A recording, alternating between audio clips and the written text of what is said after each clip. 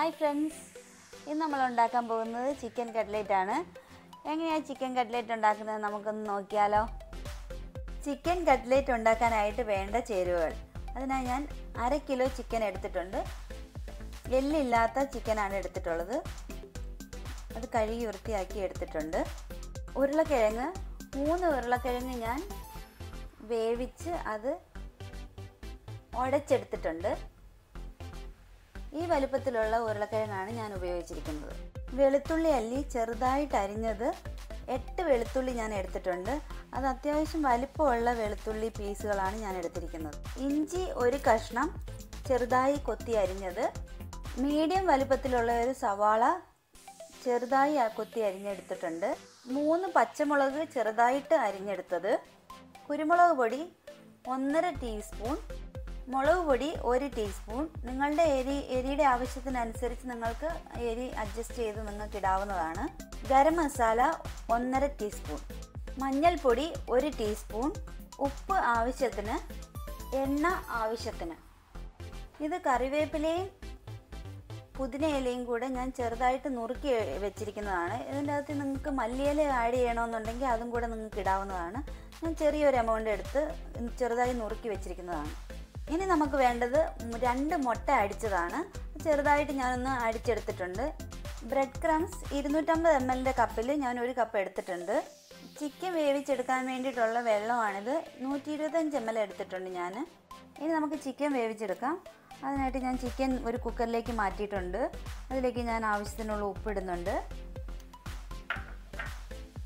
നമ്മൾ എടുത്തു വെച്ചിരുന്നതിൽ ഒരു ടീസ്പൂണിൽ അര ടീസ്പൂൺ മഞ്ഞൾപ്പൊടിയും കൂടെ ഞാൻ ഇതിലേക്ക് ഇടുന്നുണ്ട്. ഇനി ഞാൻ എടുത്തു വെച്ചിരുന്ന നൂറ്റി ഇരുപത്തഞ്ച് എം എൽ വെള്ളം കൂടെ ഇട്ടിട്ട് നമുക്ക് നന്നായി ചിക്കൻ ഒന്ന് വേവിച്ചെടുക്കാം. ചിക്കൻ വേവിക്കാനായിട്ട് ഞാൻ വെച്ചിട്ടുണ്ട്. ഇനി അത് വെന്ത് കിട്ടട്ടെ. ചിക്കൻ അഞ്ച് വിസിൽ വന്നിട്ടുണ്ട്. നമുക്കിനി ഗ്യാസ് ഓഫ് ചെയ്ത് നമുക്ക് വെയിറ്റ് ചെയ്യാം. അത് തണുക്കുന്നത് വരെ. ഇപ്പോൾ അതിന്റെ പ്രഷറൊക്കെ മാറിയിട്ടുണ്ട്. ഇനി നമുക്ക് കുക്കർ ഒന്ന് തുറന്ന് നോക്കാം.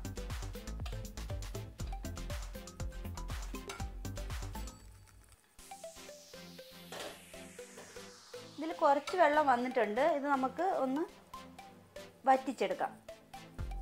ചിക്കൻ നന്നായി വെന്ത് കിട്ടിയിട്ടുണ്ട്. ഇപ്പോൾ ഇത് വറ്റിച്ചെടുത്തിട്ടുണ്ട് ഞാൻ. ഇനി നമുക്ക് ഈ ചിക്കൻ ഒന്ന് തണു തണുക്കുന്നത് വരെ വെയിറ്റ് ചെയ്യാം. തണുത്തതിന് ശേഷം നമുക്കൊരു മിക്സി ജാറിലിട്ട് നമുക്കത് പൊടിച്ചെടുക്കാം ചിക്കൻ ചിക്കൻ ഞാൻ മിക്സറിലിട്ട് പൊടിച്ചെടുത്തിട്ടുണ്ട്. ഇനി നമുക്ക് കട്ട്ലറ്റിന് വേണ്ടിയിട്ടുള്ള മസാല എങ്ങനെ തയ്യാറാക്കാമെന്ന് നോക്കാം. ഞാൻ അതിനായി ഒരു പാൻ വെച്ചിട്ടുണ്ട്. പാൻ ചൂടായി കിട്ടിയിട്ടുണ്ട്. അതിലേക്ക് ഞാൻ ആവശ്യത്തിനുള്ള ഓയിൽ ഒഴിക്കുന്നുണ്ട്. വളരെ ചെറിയ എമൗണ്ട് ഞാൻ ഒഴിക്കുന്നുള്ളൂ.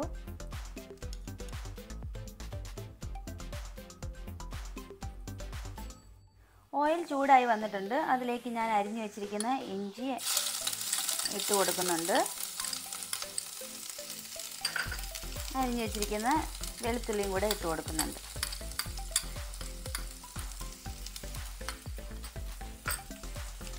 ഇളക്കി കൊടുക്കാം.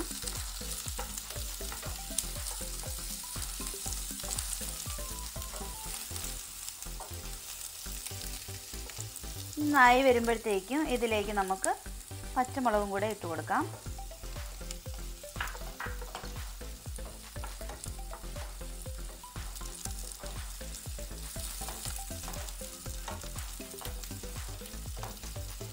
ഞാനൊരു മീഡിയം ഫ്ലെയിമിലാണ് വെച്ചേക്കുന്നത് ഇനി ഇതിലേക്ക് നമുക്ക് അരിഞ്ഞു വെച്ചിരിക്കുന്ന ഉള്ളി കൂടെ ഇട്ട് കൊടുക്കാം. കുറച്ച് ഉപ്പ് കൂടെ ഇട്ട് കൊടുക്കുന്നുണ്ട്. ഞാൻ ചിക്കൻ വേവിക്കാൻ വെച്ചപ്പോൾ ഞാൻ അതിന്റെ അകത്ത് കുറച്ച് ഉപ്പ് ഇട്ട് കൊടുത്തിരുന്നു. ഉപ്പ് നിങ്ങളുടെ ആവശ്യത്തിനനുസരിച്ച് നിങ്ങളുടെ ടേസ്റ്റിനനുസരിച്ച് ഇട്ട് കൊടുത്താൽ മതി. ഏകദേശം ഒരു ബ്രൗൺ നിറമായി വരുമ്പോഴത്തേക്കും നമുക്ക് മസാലകൾ ഇട്ട് കൊടുക്കാം. അതിലേക്ക് ഞാൻ ബാക്കിയുള്ള അര ടീസ്പൂൺ മഞ്ഞൾപ്പൊടി ഇട്ട് കൊടുക്കുന്നുണ്ട്. എടുത്തു വെച്ച കുരുമുളക് പൊടി.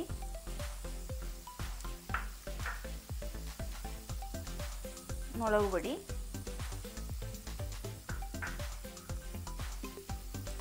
പിന്നെ ഗരം മസാല.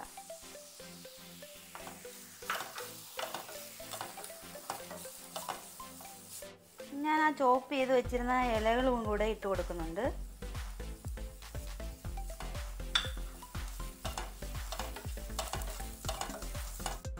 നന്നായി വഴറ്റി എടുത്തിട്ടുണ്ട് ഇതിലേക്ക് നമുക്കിനി പൊടിച്ചു വെച്ച ചിക്കൻ ഇട്ട് കൊടുക്കാം.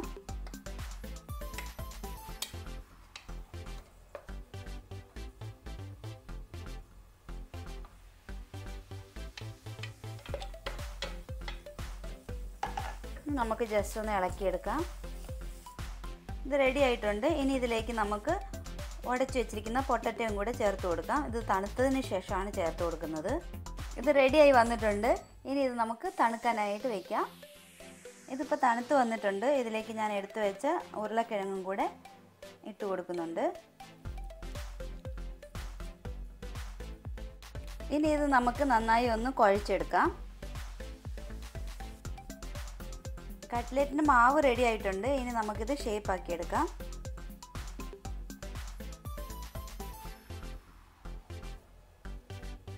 നിങ്ങൾക്ക് ഇഷ്ടമുള്ള ഷേപ്പിലാക്കി എടുക്കാവുന്നതാണ്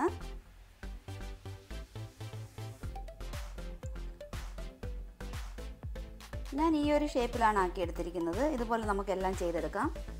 ഞാൻ ഷേപ്പ് ആക്കി എടുത്തിട്ടുണ്ട് ഇത് ഞാൻ രണ്ട് ഷേപ്പിലാക്കി എടുത്തിട്ടുണ്ട് ഇനി നമുക്ക് വറുത്തെടുക്കാം. വറുത്തെടുക്കുന്നതിനായിട്ട് ഞാനൊരു പാൻ വെച്ചിട്ടുണ്ട്. അതിലേക്ക് ഞാൻ ആവശ്യത്തിനുള്ള ഓയിൽ ഒഴിച്ചു കൊടുക്കുന്നുണ്ട്. എണ്ണ ചൂടാകുമ്പോഴത്തേക്കും നമുക്കിത് മുട്ടയ്ക്കകത്ത് മുക്കി എടുത്തതിന് ശേഷം ബ്രെഡ് ക്രംസും കൂടെ ഇട്ടിട്ട് നമുക്ക് വറുത്തെടുക്കാം.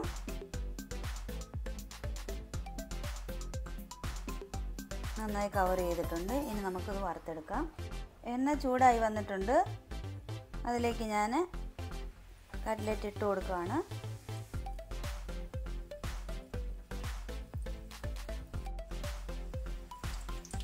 ഹൈ ഫ്ലെയിമിൽ വയ്ക്കരുത് കരിഞ്ഞു പോകും. ഞാനൊരു മീഡിയം ഫ്ലെയിമിലിട്ടാണ് വറുത്തെടുക്കുന്നത്. ഞാൻ ഓരോന്നായിട്ടാണ് വറുത്തെടുക്കുന്നത്. നമ്മുടെ കട്ട്ലറ്റ് റെഡി ആയിട്ടുണ്ട്. ഞാൻ കോരി എടുക്കുന്നുണ്ട്. ഇങ്ങനെ നമുക്ക് എല്ലാം വറുത്തെടുക്കാം. നമ്മുടെ ചിക്കൻ കട്ട്ലറ്റ് റെഡി ആയിട്ടുണ്ട്. നിങ്ങൾ എല്ലാവരും ഇത് ട്രൈ ചെയ്യണം. ട്രൈ ചെയ്ത് ഇഷ്ടപ്പെട്ടെങ്കിൽ കമന്റ് ചെയ്യണം. ലൈക്ക് ചെയ്യണം. ഷെയർ ചെയ്യണം. സബ്സ്ക്രൈബ് ചെയ്യണം എന്റെ ചാനൽ മറ്റൊരു വീഡിയോ ആയിട്ട് നമുക്ക് വീണ്ടും കാണാം. താങ്ക്